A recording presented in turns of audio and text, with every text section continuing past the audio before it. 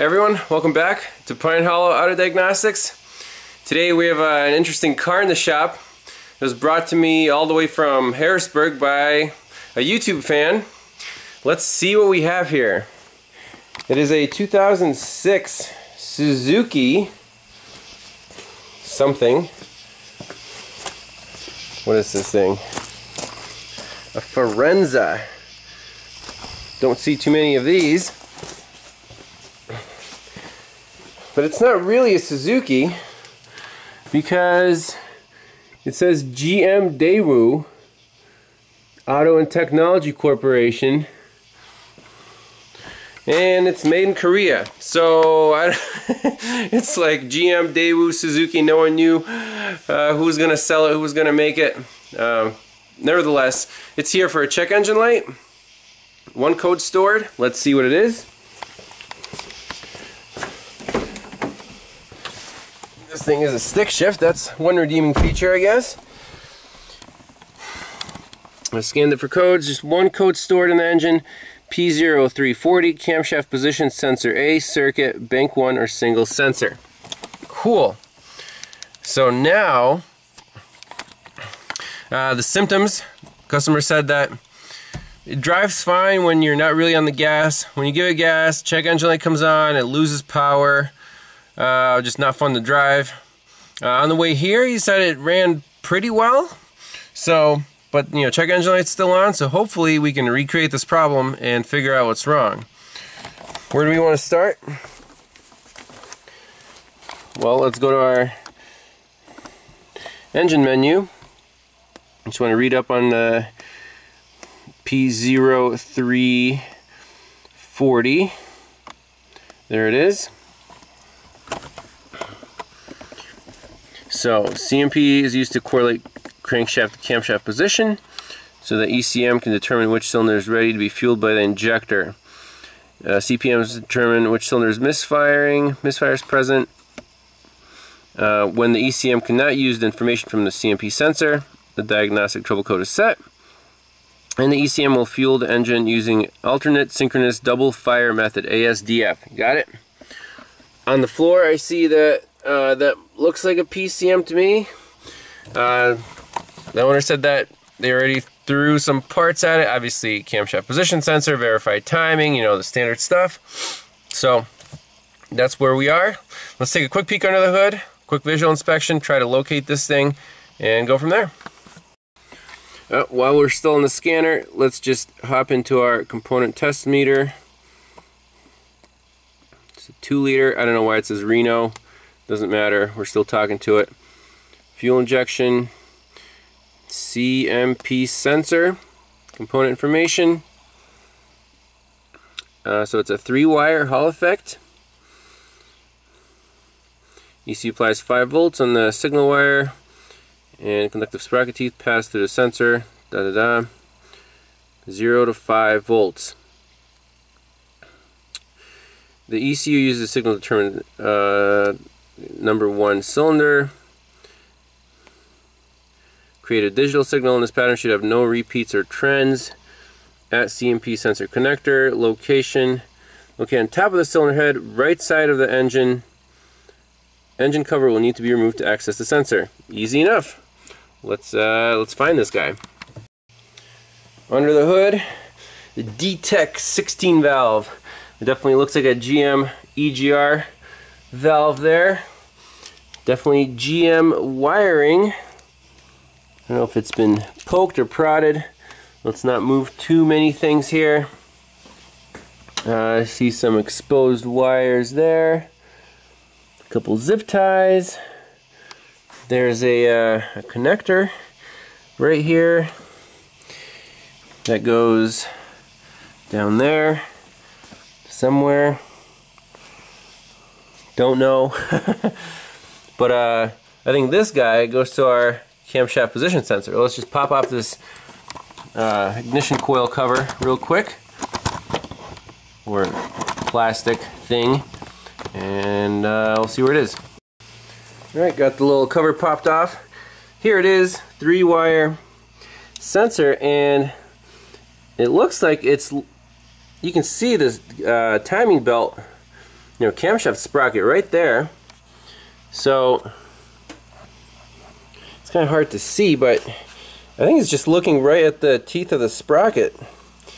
Kind of a really simple design. Now in this case, it's very key. I don't know how it mounts, but the gap between the sprocket and the sensor is absolutely key. Interesting. But in this case, we want to verify the signal integrity at different RPM ranges and whatnot. So let's hook up a scope. We'll actually use the Pico scope since uh, we want, you know, a really nice buffer and uh, detail to see any glitches. We'll hook it up to our signal wire and uh, run thing. Alrighty, popped off the half of the timing cover. Looks like someone took a little shortcut here. Very easy to remove. we see our sprockets. We are gently pierced on the purple wire, which is our signal wire. Now you could back probe it, but I don't want to disturb the connector just in case the problem is there, you know, with the pin or something. So this is the non kind of non-intrusive. You don't want to disturb anything right now. Uh, want to make sure the wire doesn't get stuck in the belt. Our ground is attached to a body stud there. And we are hooked up on our Pico. So we're on pin 3, violet wire. That's our channel 1.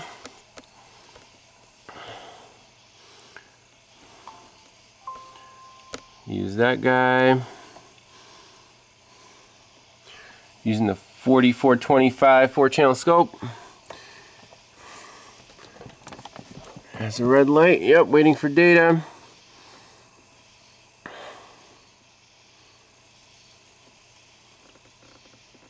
Boom. So we're on a 0 to 20 volt scale.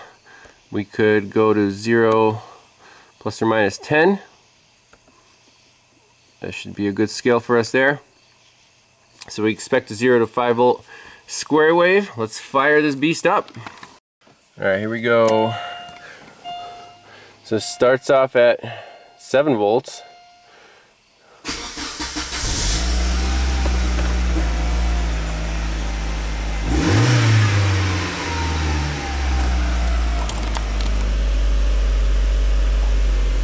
Just want to see if I can get it to glitch.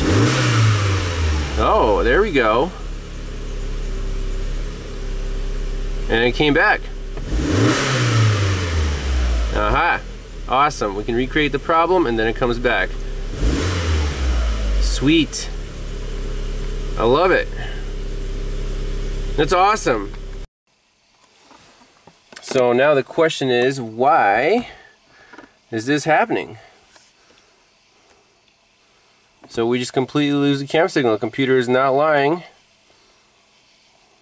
So there's no good, about 50% duty cycle, on and off, and then boop, boop, nothing. So right there, that's a clue. It doesn't just drop off the face of the earth, it actually gives two tries and flat lines. Now my question is, I think we've seen this before, you guys remember the Acura no start, the crank no start case study where it took me like four trips to nail that thing? We fixed it with a hammer? My question is, is the cam moving out far away from the sensor or just losing the signal?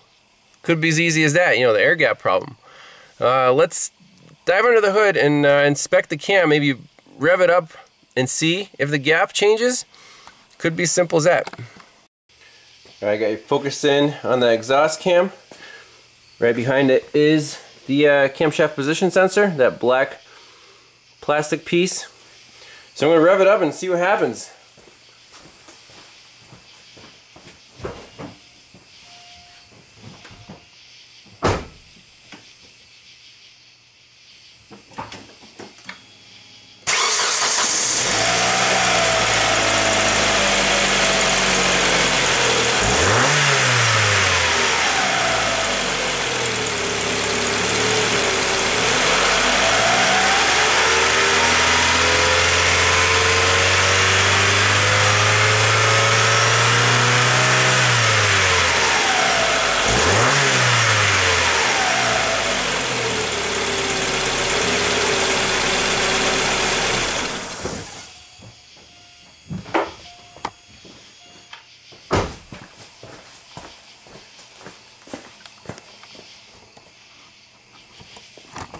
You guys see anything exciting? I'm going to review the footage, see what it looks like. Well, it was kind of hard to tell. I didn't see the camshaft sprocket move in and out. Doesn't mean it, it didn't, but uh, right now we still have two more wires to check, the power and ground. Make sure those don't disappear during our you know event and then you know we'll go from there. If those power and ground are good, 5 volt reference and the, the constant ground, then uh, I don't know, could be a crappy sensor, I guess. All right, we got, we're going all out. Three channels. Blue is still the signal. Red is the ground middle wire. You can see it's already been, you can see some copper there. I don't know if it's been sliced or what, but, and the third wire, pink with a black, that is our ignition power. So let's get to our scope and set up our channels. All right, here we go. Three channels running. Red trace is ground and I set it on a zero to one volt scale. We don't want any voltage in that. Maybe a little noise, you know, less than 100 millivolts. Blue is still our signal, 0 to 10. And the green is 0 to battery voltage is right there 12. So key on. So we do have power there. Battery voltage and the ground is, you know, looking fine. Let's start it up.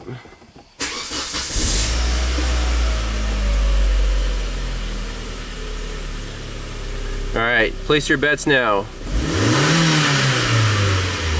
And it's off. And now it's back on. Whoop. There, there's what we need to know. We're not losing power. We're not losing ground.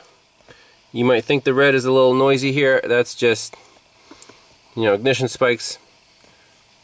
That's still a good ground. It's right at zero.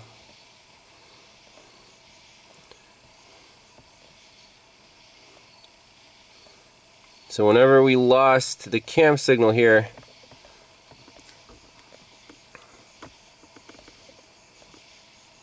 right, come on, right here, boom. We still had power and ground. This thing should not should not drop out like that. And the question is, why did it? Why does it come back? you know here it, sh it should be back on the, the revs are back down and it takes this like delay and finally decides to come back interesting what do you guys think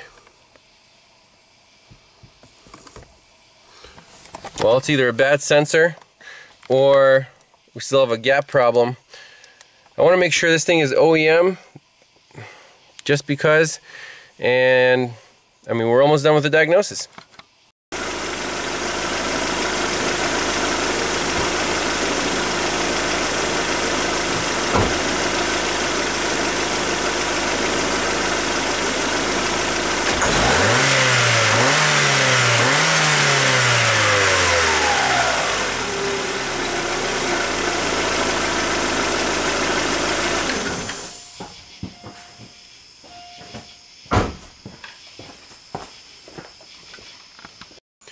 Well, I think we're pretty much done with our testing.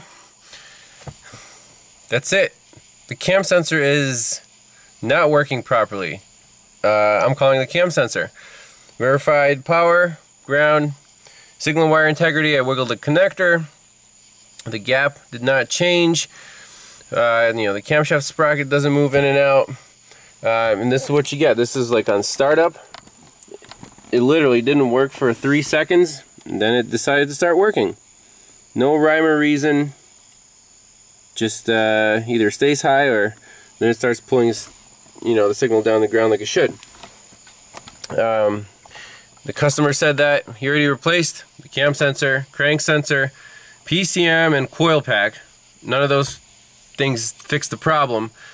I'm going to ask him, did he use an OEM Suzuki Daewoo GM whatever crank sensor because, or uh, camshaft position sensor, sorry, CMP. Because apparently sensors are very vehicle specific. Dorman, standard motor products, even Airtex wells, sometimes won't cut it. Sometimes they rebox the original, you know, OEM like Denso or uh, the original manufacturer. Those are fine, but aftermarket sensors just I've been burned by them. So don't use them. I'm going to verify, see if they use an OEM because you can get one for $10 on eBay or you can get one from, you know, an online dealer for like 70 bucks. So big difference there. Your car will run seven times better, right? Uh, in any case, we'll see what happens. Uh, but for now, uh, thanks for watching, and I'll see you next time. Bye-bye.